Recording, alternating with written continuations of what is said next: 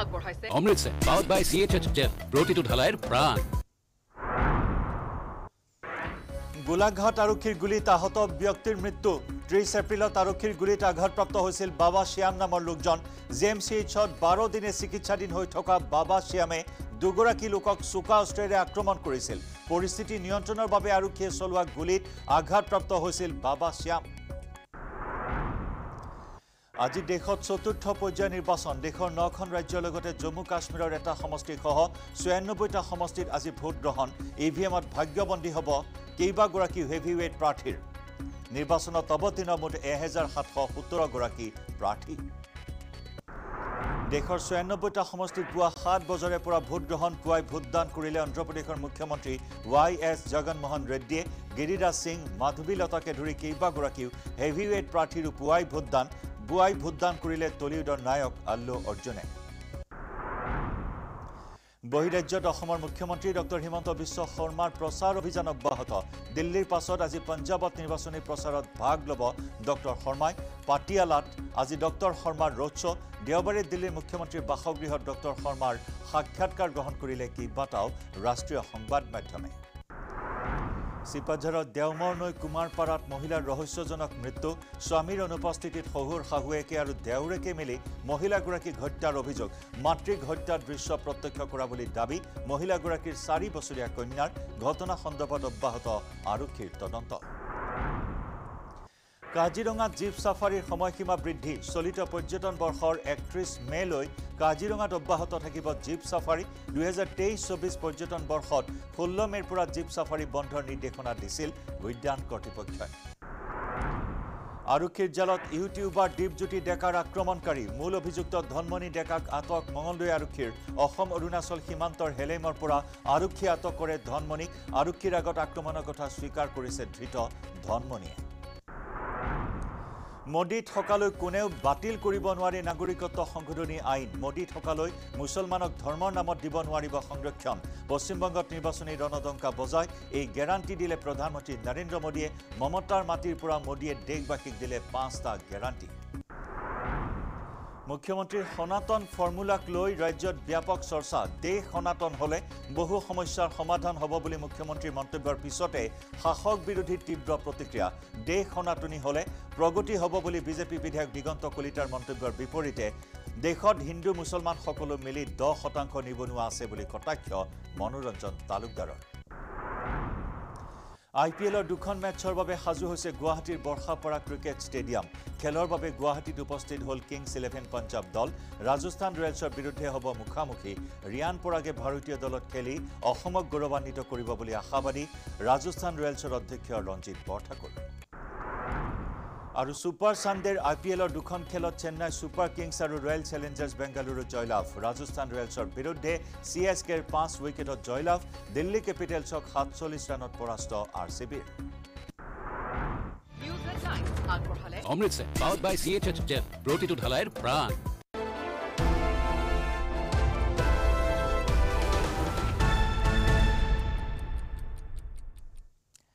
নমস্কাৰ আপুনি চাই আছে লাইভ আৱাৰ মই জয়ন্ত মাধৱ গোস্বামী। প্ৰথমে জনাইছো এটা ব্ৰেকিং নিউজ গোলাঘাট আৰক্ষীৰ গুলীত আহত ব্যক্তিৰ মৃত্যু। জে এম চি এইচত চিকিৎসাধীন অৱস্থাত মৃত্যু হয় বাবা শ্যাম নামৰ যুৱকজনৰ। ত্ৰিছ এপ্ৰিলত গুলীবিদ্ধ হৈছিল বাবা শ্যাম। দুগৰাকী লোকক চোকা অস্ত্ৰেৰে আক্ৰমণ কৰিছিল বাবা শ্যামে। পৰিস্থিতি নিয়ন্ত্ৰণৰ বাবে আৰক্ষীয়ে চলাইছিল গুলী। আৰক্ষীৰ গুলীত আহত হৈছিল বাবা শ্যাম ভৰ্তি কৰোৱা হৈছিল জে এম চি এইচত। বাৰ দিনে যোৰহাট মেডিকেল কলেজ হাস্পতালত চিকিৎসাধীন হৈ আছিল গুলীবিদ্ধ বাবা শ্যাম। পৰিয়াল তথা ৰাইজৰ মতে মানসিকভাৱে অসুস্থ আছিল বাবা শ্যাম। গুলীবিদ্ধ বাবা শ্যামৰ মৃত্যুৰ পাছতে কুমাৰপট্টিত এতিয়া তীব্ৰ প্ৰতিক্ৰিয়াৰ সৃষ্টি হৈছে। আৰক্ষীক গুলীওৱাৰ অধিকাৰ কোনে দিলে বুলি প্ৰশ্ন পৰিয়াল তথা ৰাইজৰ। আৰক্ষীৰ বিৰুদ্ধে ক্ষোভ উজাৰি ন্যায়ৰ দাবী উত্থাপন কৰিছে পৰিয়ালে। পৰিয়ালটোৰ ভৰণ পোষণৰ দায়িত্ব চৰকাৰক ল'বলৈ ৰাইজে জনাইছে আহ্বান। যোৱা ত্ৰিছ এপ্ৰিলত গুলীবিদ্ধ হৈছিল বাবা শ্যাম। সেই অঞ্চলটোত সন্ত্ৰাস চলাইছিল হাতত দা লৈ আক্ৰমণ কৰিছিল কেইবাজনো আঘাতপ্ৰাপ্ত হৈছিল দুজনক আক্ৰমণ কৰিছিল। ত্ৰিছ এপ্ৰিলত পৰিস্থিতি নিয়ন্ত্ৰণৰ বাবে আৰক্ষীয়ে গুলীচালনা কৰিবলৈ বাধ্য হৈছিল আৰু সেই গুলীচালনাতে গুলীবিদ্ধ হৈছিল বাবা শ্যাম। আৰক্ষীৰ গুলীত আহত হৈ জে এম চি এইচত চিকিৎসাধীন হৈ আছিল। বাৰ দিন ধৰি যোৰহাট মেডিকেল কলেজ হাস্পতালত চিকিৎসাধীন হৈ অৱশেষত মৃত্যু হ'ল বাবা শ্যামৰ। আৰু ইয়াৰ পিছতে ৰাইজ যথেষ্ট উত্তেজিত হৈছে তীব্ৰ প্ৰতিক্ৰিয়া প্ৰকাশ কৰিছে আৰক্ষীৰ ভূমিকা সন্দৰ্ভত প্ৰশ্ন উত্থাপন কৰিছে। উল্লেখযোগ্য যে পৰিয়াল তথা ৰাইজৰ মতে মানসিকভাৱে অসুস্থ আছিল বাবা শ্যাম। আৰু গুলীবিদ্ধ বাবা শ্যামৰ মৃত্যুৰ পাছতে তীব্ৰ প্ৰতিক্ৰিয়াৰ সৃষ্টি হৈছে। আৰক্ষীক গুলীওৱাৰ অধিকাৰ কোনে দিলে বুলি প্ৰশ্ন পৰিয়াল তথা ৰাইজৰ। আৰক্ষীৰ বিৰুদ্ধে ক্ষোভ উজাৰি ন্যায়ৰ দাবী উত্থাপন কৰি পৰিয়ালটোৰ ভৰণ পোষণৰ দায়িত্ব চৰকাৰক ল'বলৈও আহ্বান জনাইছে ৰাইজে। আহি পেলাই দুটা পুলিচ আহিছে। আহি পেলাই ল'ৰাটোক মাতিছে ডাইৰেক্ট ল'ৰাটোৱে মানে তাৰ সিহঁতৰ ওচৰলৈ অকণমান যাওঁতে প্ৰথমতে গলিয়াই দিলে। গুলিয়াই দিয়াৰ লগে লগে মোৰ ল'ৰা একদম লগালগ পৰি তেজ বমি হৈ গ'ল। তেজ বমি হৈ পেলাই আকৌ তাৰ লগৰটোৱে ভৰিত মাৰিছে। ল'ৰাটোৰ মুখত মাৰিব লাগে নে ভৰিত মাৰিব লাগে কওকচোন। ল'ৰাটোক দুচাট মাৰি তহঁতি গুলিয়াব নালাগে নহয়। কেলৈ মুখত গুলিয়াব লাগে ল'ৰাটো? এনেকৈ কৰিব নাপায় নহয়। যিমান হওক মোৰ ল'ৰাটো এটাই ল'ৰা মোৰ কোনো নাইকিয়া। এই ল'ৰাটোৱে মোক সেই কৰি আছে। মুখত একদম গুলিয়াই দিলে ল'ৰা লগালগ পৰি তেজ বমি নাকে কাৰণে মুখে তেজ ওলাইছে লৈ ওলাই পেলাই পুলিচ দুটাই নিজে বেটেৰী গাড়ীত আকৌ ধৰি পেলাই উঠাই দিছে উঠাই দি মেডিকেল নিছে গোলাঘাট মেডিকেল মেডিকেলত সেইবোৰ কৰি পেলাই মেডিকেলৰ ডক্তৰে কৈছে বোলে লগালগ বোলে যোৰহাট লৈ যাওক আপোনাৰ ল'ৰা নেবাচে বোলে। ল'ৰালক যোৰহাট লৈ গৈছোঁ মোৰ পইচা পাতি নাই মই ক'ত পাওঁ? তাৰে গাড়ীখন লৈ পেলাই ডক্তৰহঁতে দিছে একদম তালৈ গৈছোঁ গম পাইছে নাই? এনেকুৱা গতি কৰিব লাগে ল'ৰাটোক কেলৈ মুখত মাৰিব লাগে? ভৰিত মাৰিব লাগিছিলে হা? কিবা যদি প্ৰয়োজন হৈছে ভৰিত মাৰক ল'ৰাটো। মুখত মাৰিব নালাগে নহয় কেলৈ মুখত মাৰিব লাগে? আৰু স্বাভাৱিকতে আৰক্ষীৰ এই ভূমিকাক লৈ এই প্ৰতিক্ৰিয়াৰ সৃষ্টি হৈছে ভুক্তভোগী মাতৃৰ সেয়া আছিল প্ৰতিক্ৰিয়া। ইউনিছ আলী আছে গোলাঘাটৰ পৰা আমাৰ সাংবাদিক ইউনুছ আপোনাৰ পৰা জানিব বিচাৰিম আৰক্ষীৰ এই ভূমিকাক লৈ যি সৰব এই মুহূৰ্তত ৰাইজ বিশেষকৈ মাতৃগৰাকীয়ে উল্লেখ কৰিছে যে গুলীওৱাতকৈ আন পন্থাও আছিল। আন পন্থা অৱলম্বন কৰিও যুৱকজনক কৰায়ত্ব কৰিব পাৰিলে হয় আৰক্ষীয়ে। হয় ক'ব ক'ব লাগিব যিহেতু গোলাঘাটত যি এই ত্ৰিশ এপ্ৰিলৰ ত্ৰিশ এপ্ৰিলৰ দিনা যি ঘটনা সংঘটিত হৈছিলে কুমাৰপতিত বাবা শ্যাম নামৰ লোক লোকজনে যি এই সঞ্জীৱ বৰা আৰু তেওঁৰ পত্নীক আক্ৰমণ কৰিছিলে।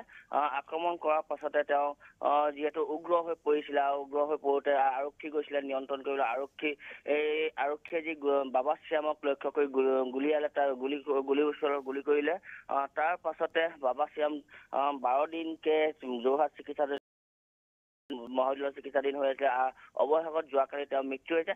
এতিয়া এটা কথা ক'ব লাগিব যিহেতু পৰিয়ালৰ লোকে ইতিমধ্যে এটা কথা কৈছে যে বাবা শ্যামক তেওঁ বেলেগ পন্থাই তেওঁক হেৰি কৰি হেৰি কৰিব পাৰিলেহেঁতেন বাবা শ্যামক যিকোনো প্ৰকাৰে তেওঁক আৰক্ষীয়ে ধৰিব পাৰিলে নু- নুগুলিয়ালেও হ'লহেঁতেন। ইতিমধ্যে কুমাৰপতি যি অঞ্চল আছে কুমাৰপতি সকলো ৰাইজে এটাই এটাই বিচাৰিছে যে বাবা শ্যামৰ যি পৰিয়াল আছে পৰিয়ালক যাতে আৰক্ষীয়ে আৰক্ষীয়ে চোৱা চিতা কৰে বা বাবা শ্যামৰ পৰিয়ালটো চৰকাৰে কি ধৰণে চোৱা চিতা কৰিব জয়ন্ত নিশ্চয় কোনো দুৰ্ধৰ্ষ অপৰাধী নহয় যদি চোৱা হয়। ইউনুছ আমি বিগত সময়ছোৱাত যিসমূহ এনকাউণ্টাৰৰ ঘটনা দেখিছোঁ আৰক্ষীৰ জিম্মাৰ পৰা পলায়নৰ সময়ত গুলীচালনা কৰে আৰক্ষীয়ে।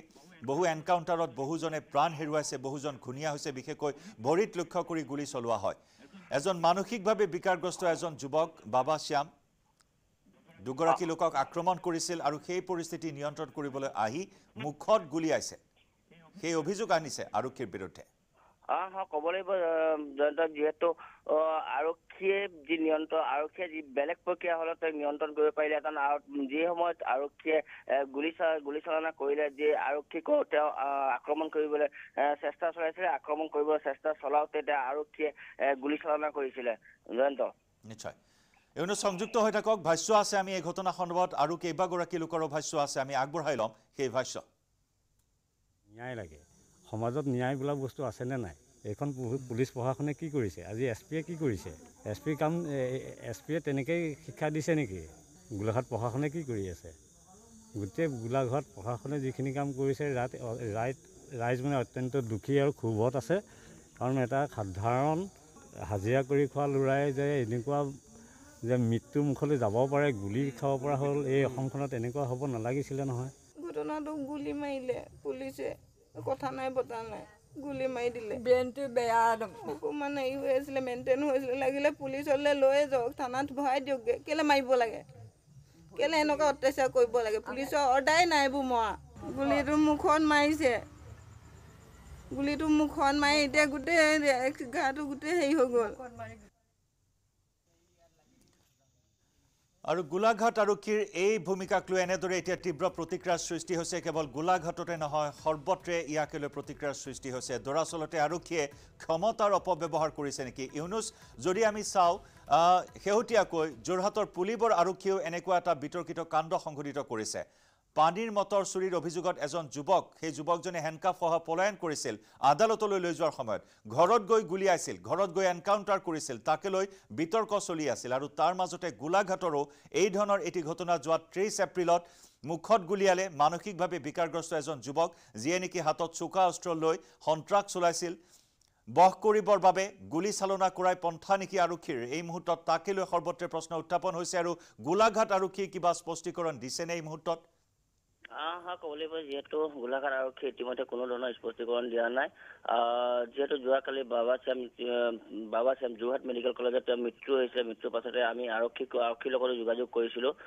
কি তেওঁলোকৰ ভাষ্য ইতি ভাষ্য ল'বলৈ কিন্তু ইতিমধ্যে এতিয়ালৈকে কোনো ধৰণৰ ভাষ্য আৰক্ষীয়ে জনোৱা গ্ৰহণ দিয়া নাইকিয়া জয়ন্ত। ধন্যবাদ। ইউনুছ আপোনাক ধন্যবাদ জ্ঞাপন কৰিছোঁ। গোলাঘাটত ইয়াকে লৈ এতিয়া তীব্ৰ প্ৰতিক্ৰিয়াৰ সৃষ্টি হৈছে। যোৱা ত্ৰিছ এপ্ৰিল কুমাৰপট্টি গোলাঘাটৰ কুমাৰপট্টিত এই অঘটন সংঘটিত হৈছিল। আমি দৃশ্য দেখুৱাইছোঁ টিভিৰ একেপিনে একেবাৰে বাওঁপিনে আপুনি প্ৰত্যক্ষ কৰিছে। এখন ই ৰিক্সাত মুখত গুলিওৱাৰ পিছত ঢলি পৰা বাবা শ্যামক এখন ই ৰিক্সাত উঠাই লৈ যোৱা হৈছিল। গোলাঘাট অসামৰিক চিকিৎসালয়ত তাৰ পৰা তেওঁক যোৰহাটলৈ প্ৰেৰণ কৰা হৈছিল।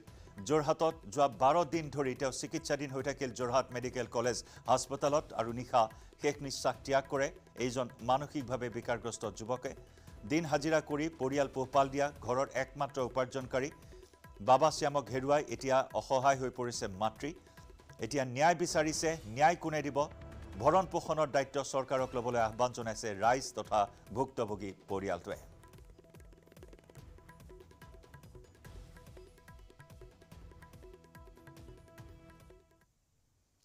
লাইভ আৱাৰত আমি খবৰৰ ধাৰা অব্যাহত ৰাখিম। সময় হৈছে এটা বাণিজ্যিক বিৰতিৰ।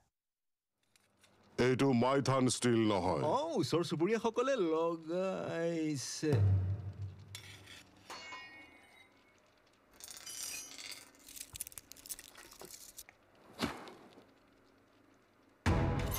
ষ্ট্ৰং মানে Maithan steel. Correct text headlines আগবঢ়াইছে এভৰিডে মছালা সুগন্ধ ৰং আৰু সোৱাদ কাটি এভৰিডে দিয়ে আহাৰৰ জুতি। Everyday spices hundred percent taste everyday spices best মনত ৰাখিব ভাল কৰি হ'ব লাগিব আৰু everyday spices hundred percent taste everyday spices best সুগন্ধ ৰং আৰু সোৱাদ খাটি। এভৰিডে জিভাত দিয়ে আচল জুতি। Everyday spices hundred percent taste text headlines আগবঢ়াইছে এভৰিডে মছালা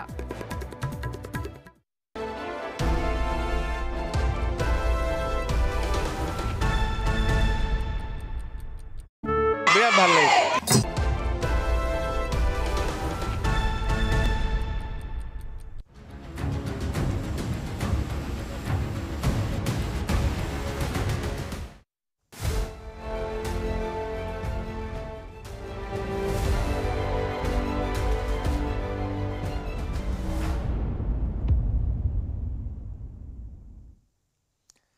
আজি দেশত চতুৰ্থ পৰ্যায়ৰ নিৰ্বাচন। দেশৰ দহখন ৰাজ্যৰ ছয়ানব্বৈটা সমষ্টিত পুৱা সাত বজাৰ পৰা আৰম্ভ হৈছে ভোটগ্ৰহণ অন্ধ্ৰপ্ৰদেশৰ আটাইকেইটা সমষ্টি তথা পঁচিছখন আসনৰ বাবে অনুষ্ঠিত হৈছে ভোট।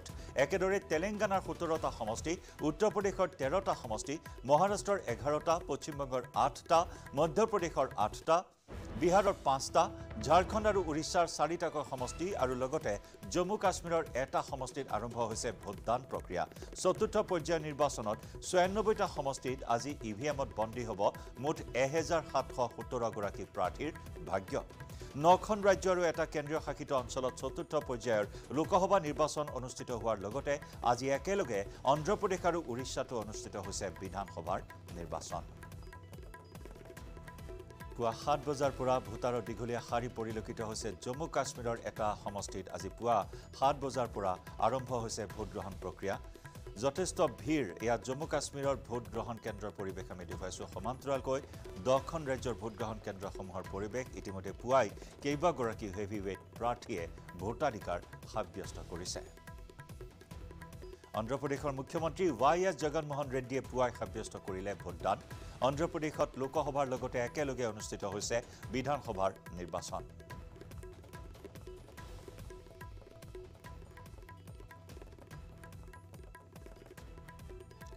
মুঠ এহেজাৰ সাতশ সোতৰগৰাকী প্ৰাৰ্থীৰ আজি ভাগ্যবন্দী হ'ব ই ভি এমত। দহখন ৰাজ্যৰ ছয়ান্নব্বৈটা সমষ্টিত ভোটগ্ৰহণ। লগতে উৰিষ্যা আৰু অন্ধ্ৰপ্ৰদেশৰ বিধানসভা নিৰ্বাচনৰ ভোটগ্ৰহণো পুৱা আৰম্ভ হৈছে। অন্ধ্ৰপ্ৰদেশৰ প্ৰাক্তন মুখ্যমন্ত্ৰী বৰ্তমানৰ বিধানসভাৰ বিৰোধী দলৰ নেতা তেলেগু দেশম পাৰ্টীৰ মুৰব্বী চন্দ্ৰবাবু নাইডুৱে পুৱাই সাব্যস্ত কৰিলে ভোটদান। অন্ধ্ৰপ্ৰদেশত লোকসভাৰ লগতে আমি জনাইছোঁ একেলগে অনুষ্ঠিত হৈছে বিধানসভাৰ নিৰ্বাচন। ইফালে তেলেংগানাৰ হায়দৰাবাদ সমষ্টিৰ চাৰিবাৰৰ সাংসদ আছাদুদ্দিন ওৱেছিয়ে পুৱাই সাব্যস্ত কৰিলে ভোটাধিকাৰ। এ আই এম আই এমৰ মুৰব্বীগৰাকীৰ বিৰুদ্ধে বিজেপিৰ প্ৰাৰ্থিত্বৰে প্ৰতিদ্বন্দ্বিতা কৰিছে অভিনেত্ৰী মাধৱী লতাই। যথেষ্ট আকৰ্ষণীয় এইবাৰ হায়দৰাবাদ সমষ্টিৰ ভোটযুদ্ধ। হায়দৰাবাদ লোকসভা সমষ্টিৰ সাংসদ আছাদুদ্দিন ওৱেচি ভোটাধিকাৰ সাব্যস্ত কৰিছে আৰু একেদৰে জনপ্ৰিয় অভিনেত্ৰী মাধৱীলতা বিজেপিৰ টিকটত এইবাৰ প্ৰতিদ্বন্দ্বিতাত নামিছে। দুয়োগৰাকী প্ৰাৰ্থীয়ে ভোটাধিকাৰ সাব্যস্ত কৰে।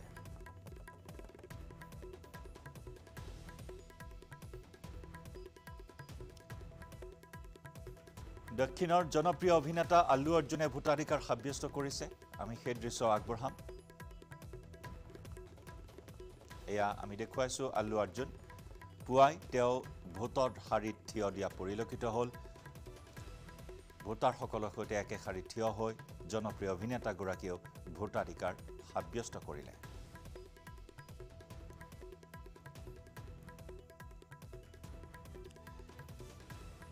কেন্দ্ৰীয় মন্ত্ৰী গিৰিৰাজ সিঙে পুৱাই সাব্যস্ত কৰিলে ভোটাধিকাৰ। গিৰিৰাজ সিং বিহাৰৰ বেগুচৰাই সমষ্টিৰ বিজেপিৰ প্ৰাৰ্থী।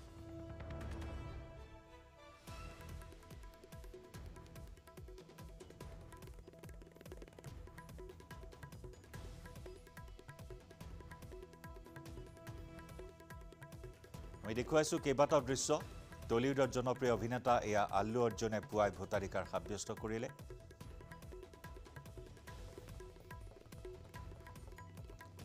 আন এগৰাকী জনপ্ৰিয় অভিনেতা দক্ষিণেতৰ চিৰঞ্জীৱী চিৰঞ্জীৱীয়েও ভোটাধিকাৰ সাব্যস্ত কৰিছে সপৰিয়ালে আহি ভোটৰ শাৰীত একেলগে শাৰী পাতি ভোটাধিকাৰ সাব্যস্ত কৰিছে জনপ্ৰিয় অভিনেতাগৰাকীয়ে।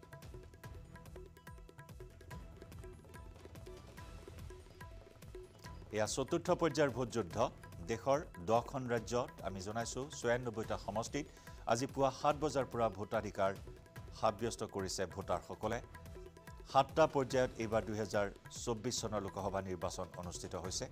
ইতিমধ্যে তিনিটা পৰ্যায় সমাপ্ত হৈছে। এয়া চতুৰ্থটো পৰ্যায়ৰ ভোটগ্ৰহণ পুৱা সাত বজাৰ পৰা আৰম্ভ হৈছে। পুৱাৰ পৰাই হেভিৱেট প্ৰাৰ্থীৰ পৰা সাধাৰণ ভোটাৰলৈ সকলোৱে শাৰী পাতি ভোটাধিকাৰ সাব্যস্ত কৰা পৰিলক্ষিত হৈছে।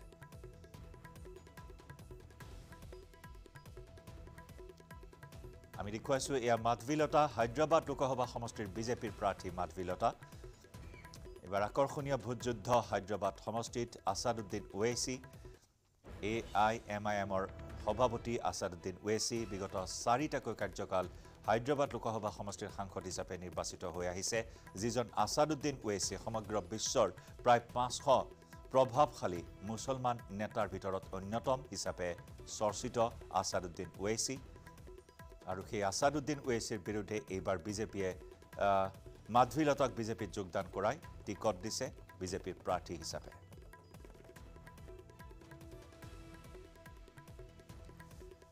দেশৰ নখন ৰাজ্যৰ লগতে জম্মু কাশ্মীৰৰ শ্ৰীনগৰ সমষ্টিতো আজি পুৱাৰে পৰা হৈছে ভোটগ্ৰহণ আমি জম্মুনগৰৰ পৰি- জম্মু কাশ্মীৰৰ পৰিৱেশ দেখুৱাইছোঁ। শ্ৰীনগৰ সমষ্টিৰ বাবে পুৱাৰে পৰা ভোটাধিকাৰ সাব্যস্ত কৰিছে ভোটাৰসকলে। যথেষ্ট ভিৰ ভোটকেন্দ্ৰসমূহত জম্মু কাশ্মীৰৰ শ্ৰীনগৰ সমষ্টিৰ ভোটকেন্দ্ৰসমূহত পুৱাই এই দীঘলীয়া শাৰী পাতি ভোটাধিকাৰ সাব্যস্ত কৰিছে। ছয় বজাৰ পূৰ্বৰে পৰাই ভোটাৰসকলে শাৰী পতা পৰিলক্ষিত হৈছে।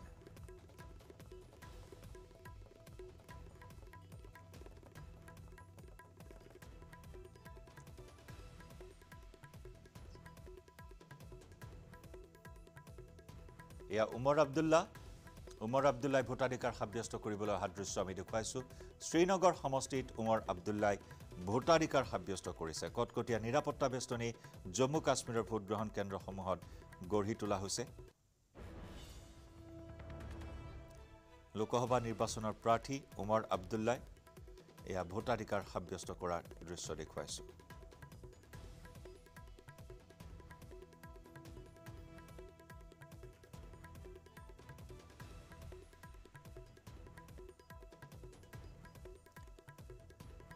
আজি চতুৰ্থ পৰ্যায়ৰ নিৰ্বাচনত ভাগ্য নিৰ্ণয় হ'ব বহুকেইগৰাকী হেভিৱেইট প্ৰাৰ্থীৰ এই তালিকাত আছে আমি জনাই আছোঁ উত্তৰ প্ৰদেশৰ প্ৰাক্তন মুখ্যমন্ত্ৰী অখিলেশ যাদৱ সমাজবাদী পাৰ্টীৰ মুৰব্বী অখিলেশ যাদৱে কনৌজ সমষ্টিৰ পৰা প্ৰতিদ্বন্দ্বিতা কৰিছে।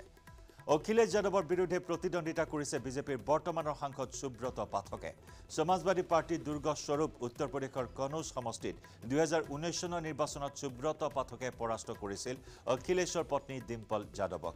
আনহাতে দুহেজাৰ চৈধ্য চনত সমষ্টিটোত ডিম্পল যাদৱৰ বিৰুদ্ধে সুব্ৰত পাঠক পৰাস্ত হৈছিল। এইবাৰ পত্নী ডিম্পল যাদৱক মইনপুৰ সমষ্টিৰ পৰা প্ৰাৰ্থিত্ব দি অখিলেশ যাদৱে নিজেই কনৌজৰ পৰা প্ৰতিদ্বন্দ্বিতা কৰিছে। একেদৰে আজি ভাগ্য নিৰ্ণয় হ'ব তৃণমূল নেত্ৰী মহুৱা মৈত্ৰৰ। মহুৱা মৈত্ৰই পশ্চিমবংগৰ কৃষ্ণনগৰ সমষ্টিৰ পৰা প্ৰতিদ্বন্দ্বিতা কৰিছে। মহুৱা মৈত্ৰৰ বিৰুদ্ধে প্ৰতিদ্বন্দ্বিতাত অৱতীৰ্ণ হৈছে বিজেপিৰ প্ৰাৰ্থী ৰাজমাতা অমৃতা ৰয়। পশ্চিমবংগৰ বেৰহামপুৰ সমষ্টিত কংগ্ৰেছ প্ৰাৰ্থী অধীৰ ৰঞ্জন চৌধুৰীৰ বিৰুদ্ধে অৱতীৰ্ণ হৈছে প্ৰাক্তন ক্ৰিকেটাৰ তথা তৃণমূল নেতা ইউছুফ পাঠান। সমষ্টিটোৰ বিজেপিৰ প্ৰাৰ্থী নিৰ্মল কুমাৰৰ নামো হেভিৱেট প্ৰাৰ্থীৰ তালিকাত চৰ্চাত আছে। আনহাতে বিহাৰৰ বেগুচৰাই সমষ্টিত ভাগ্য নিৰ্ণয় হ'ব কেন্দ্ৰীয় মন্ত্ৰী গিৰিৰাজ সিঙৰ। গিৰিৰাজ সিঙৰ সমষ্টিত প্ৰচাৰৰ অন্তিম দিনা অসমৰ মুখ্যমন্ত্ৰী ডক্টৰ হিমন্ত বিশ্ব শৰ্মাই চলাইছিল প্ৰচাৰ।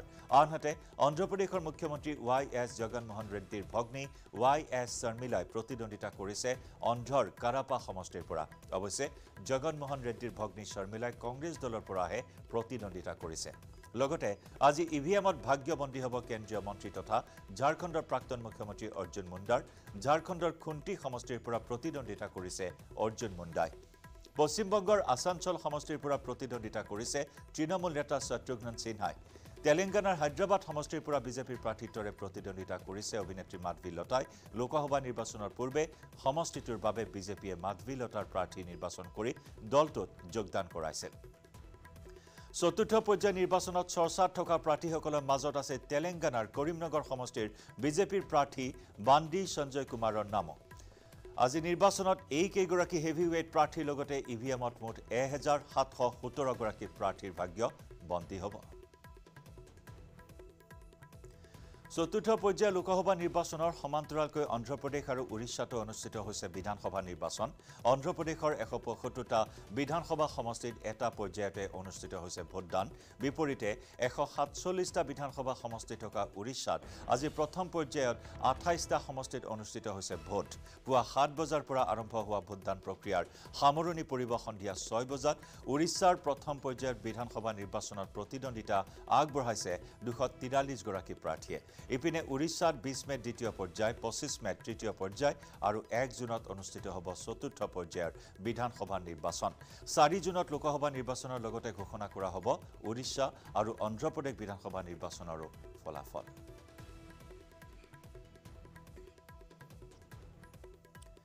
এয়া অন্ধ্ৰপ্ৰদেশৰ বিধানসভা নিৰ্বাচনৰ ভোটগ্ৰহণ লগতে লোকসভা নিৰ্বাচনৰ ভোটগ্ৰহণৰ দৃশ্য আমি দেখুৱাইছোঁ। ভোটগ্ৰহণ কেন্দ্ৰসমূহত যথেষ্ট ভিৰ দেখিবলৈ পোৱা হৈছে। শান্তিপূৰ্ণভাৱে ভোটাধিকাৰ সাব্যস্ত কৰিছে ভোটাৰসকলে।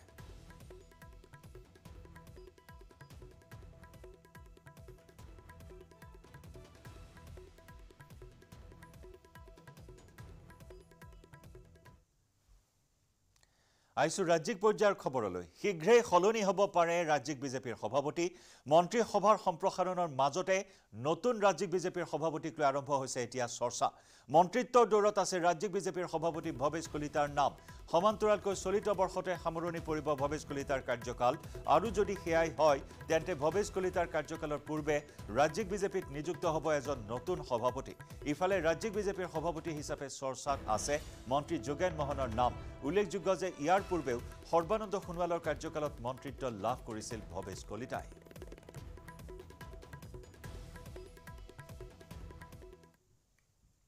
লাইভ আৰত সময় হ'ল আন এটি চমু বাণিজ্যিক বিৰতিৰ।